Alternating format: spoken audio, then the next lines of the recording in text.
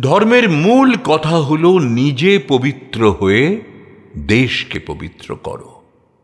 ধর্মে অনুভূতি, দর্শন, সিদ্ধি, মুক্তি ও নির্বাণ নির্বিকল্পের কথা আছে ঠিকই।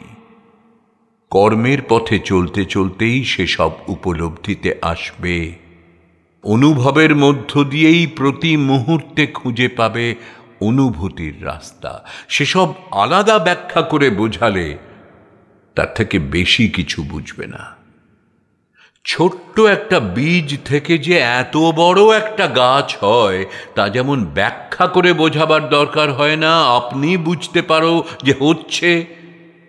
তেমনি যে মহাধনির বীজ বপন করা হয় কর্ণজনিতে, তা থেকেই তোমাদের দেহক্ষেত্র ফুলে ফলে ভরে উঠবে। ওই নামের চর্চা নাম অনুযায়ী কাজের মাধ্যমেই তা বুঝতে পারবে। ধ্বনি থেকেই সব সৃষ্টি। এই ধ্বনির মাধ্যমেই বুঝতে পারবে সব। বীজ ফুটে ওঠার মতো আপনি সব হয়ে যাবে। বেদের সাম্যের সুরে, সমতার তালে সমন্বয়ে আপনি সারা জেগে উঠবে ভেতরে, বাইরে। অনুভূতি, দর্শন, সিদ্ধি, মুক্তি, নির্বাণের চিন্তা নিয়ে আলাদা করে আর মাথা ঘামাতে হবে না। প্রথমেই ভাবের রাজত্বে গেলে সবই গুলিয়ে যাবার ভয় থাকে। বেদ তাই সাধন মার্গে ভাবের কথা না বলে বাস্তব ভিত্তিক কথাই বারবার বলেছে। বারবার বস্তুকে অবলম্বন করেই এগিয়ে যাবার নির্দেশ দিয়েছে। বাস্তব ভিত্তিক নয় বলেই প্রথমেই সিদ্ধি মুক্তি নির্বাণ নির্বিকল্প নিয়ে ভাবতে নিষেধ করেছে। ভাষাগত দিক থেকে ওইসব কথাগুলোর বিজ্ঞানসম্মত অর্থ অবশ্যই আছে। সিদ্ধি হল সফলতা। কাজ করতে করতে কাজের ভেতর দিয়েই সফলতা আসবে। মুক্তির অর্থ হল সব কাজ করবে নিরপেক্ষ দৃষ্টিভঙ্গি নিয়ে। আধ্যাত্মিকতার শিক্ষা, যখনই যে কাজ করবে, নিষ্ঠা সহকারে সে বিষয়ে ডুবে থাকবে, তন্ময় হয়ে। তবেই সে বিষয়ের মূল তত্ত্ব উদ্ধার করতে পারবে নিজের ভেতর থেকেই। এই জ্ঞানই হল নির্বাণ। নির্বিকল্প অবস্থা হল এমন তন্ময় অবস্থা। আগুনে পুড়লেও দেহের কোনো সাড়া থাকবে না। বেদের যুগের সাধনায় এমন তন্ময় অবস্থাই ছিল। এই অবস্থা আসত, পরম নিষ্ঠা, অনেক চর্চার মাধ্যমে। প্রথম থেকেই এই অবস্থায় থাকতে হবে এমন অবাস্তব চিন্তা কেউ করতেন না। কাজ করতে করতে ক্রমে নির্বিকল্প অবস্থা আপনা থেকেই আসে। যেন দেহটা পড়ে আছে, চেতনাটা আর এক চৈতন্যের দিকে এগিয়ে যাচ্ছে। এটাই হচ্ছে সমাধির অবস্থা। যার পরিচয় কিছুটা আছে দৈনন্দিন ঘুমের মধ্যে। ঘুমও তাই এক জাতীয় সমাধি। সমাজ সংসারের বাস্তব ভিত্তিক কাজগুলো পরম নিষ্ঠা সহকারে করতে করতে তোমরা নিজেরাই এসব উপলব্ধি করতে পারবে, কাউকে বলে দিতে হবে না। আধ্যাত্মিক ক্ষেত্রে যে তৃপ্তির উল্লেখ আছে, যে বৈরাগ্যের উল্লেখ আছে, তা গ্রন্থ পাঠ করে হয় না। কর্মের মাধ্যমেই আসবে সেসব।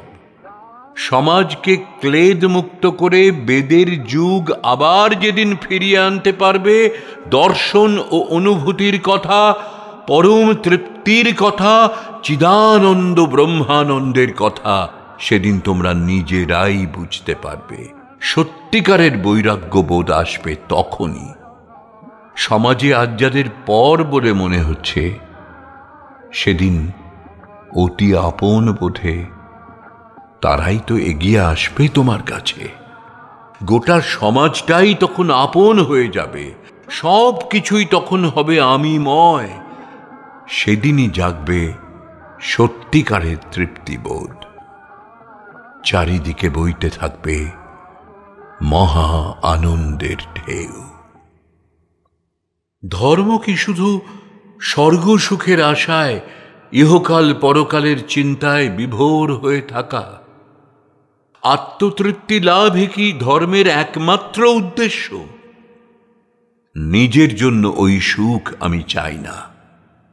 আমার আনন্দ সবাইকে নিয়ে, সবার মুখে হাসির ফুল ফুটুক, সেটাই আমার স্বর্গ সুখ। আমি চাই ফুলের মতো সবার জীবন বিকশিত হোক। যে গভীর সুর সাধনায় আমি তন্ময় হয়ে থাকি, আমার এই সুর বাস্তবের সুর, অনন্ত মহাকাশের সুর, অনন্ত সুরের সাথে সুর মিলিয়ে জগতের সুরকে আমি এগিয়ে নেওয়ার চেষ্টা করি। এই জগতের সব বেসুরকে অপসারিত করে সেই সুরের সন্ধান যেন সবাই পায়, তার জন্যই আমার সকল প্রচেষ্টা। এই সুর সাধনায় জাতিগত, নীতিগত কোনো বিভেদ নেই। পৃথিবীর প্রতিটি মানুষ এই সুরের সাথী হতে পারে। সুরের গণিতেই যে সৃষ্টি, সেই গাণিতিক নিয়মই জানিয়ে দেবে এখানে আসার উদ্দেশ্য কি, এখান থেকে চলে যাওয়ার উদ্দেশ্যই বা কি। তখন ইহকাল পরকালের চিন্তা ভাবিয়ে তুলবে না কাউকে। সবাই আমরা সেই জ্ঞান লাভ করতে পারি। প্রত্যেকে আমরা সুরেই আছি। বাস্তবের প্রতিটি বস্তুতেই সুর বর্তমান। সুর প্রত্যক্ষ সত্য। সেখানে কোনো কল্পনা, ধারণা, অবাস্তবের স্থান নেই। কিন্তু এখানকার স্বর্গ নরক, পাপ পুণ্য, ইহকাল পরকালের কথায় আছে। শুধু গল্পগুচ্ছের অবতারণা বাস্তবের প্রমাণে এসব প্রমাণ করা যায় না। যতই তুমি সুরের সাধনায় আত্মনিয়োগ করবে, ততই সত্য, মিথ্যা, আসল নকলের স্বরূপটি উদ্ঘাটিত হবে তোমার কাছে। সুর হল মাত্রা, সুরই বিবেক, সুরই চৈতন্য, সুরের গণিতে সব কিছু সাধা সব কিছু গাঁথা। তার সাথে সাথে আছে রূপ হতে রূপান্তরে পরিবর্তন। সুরের তালে তালে, সমতার তানে তানে, প্রয়োজন বোধে বোধে সুন্দর সুসজ্জিতভাবে সাজানো রয়েছে সৃষ্টির সব সব কিছু। সব বস্তুই তাই সজাগ। বিবেক চৈতন্য বা সুরধারা সর্বত্র বিরাজ করছে। বেসুরে গেলেই বুঝিয়ে দিচ্ছে, সুরের পথে আসার ইঙ্গিত দিচ্ছে ক্ষণে ক্ষণে। এই সুর সাধনায় কোনো দেব দেবতার বালাই নেই। সাধু, গুরু, মহান বা অবতার সাজবার কোনো প্রয়োজন নেই। সুরের দরবারে সবারই সমান অধিকার।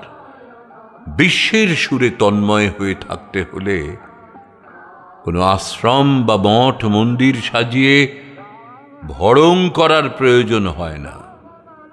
আড়ম্বরপূর্ণ কোনো আচার অনুষ্ঠানেরও দরকার হয় না। প্রকৃতির ধারায় সাধারণের মাঝেই রয়েছে অসাধারণের সুর।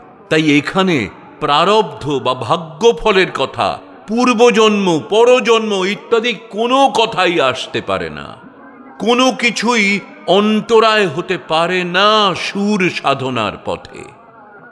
এই পৃথিবীর বুকে যাদের জন্ম হয়েছে, সকলেই তারা সেই সুরের অধিকার নিয়েই জন্মেছে। তাই অযথা হতাশা, নিরাশা, ভাগ্যফল, কর্মফলের কথা বলে সময় নষ্ট না করে প্রকৃতির দেওয়া সেই সুর সাধনায় আত্মনিয়োগ করো।